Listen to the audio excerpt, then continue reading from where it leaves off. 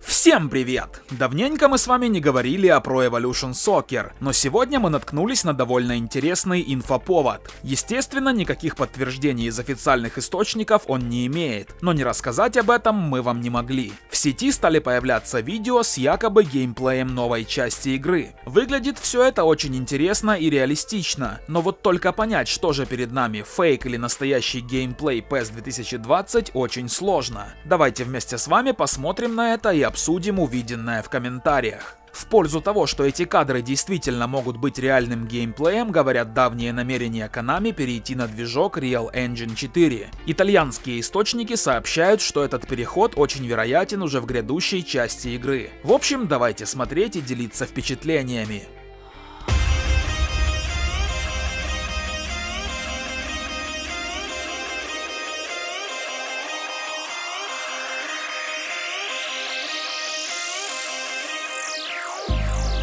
I've been keeping myself so busy, pushing out the misery, trying to find the peace in me.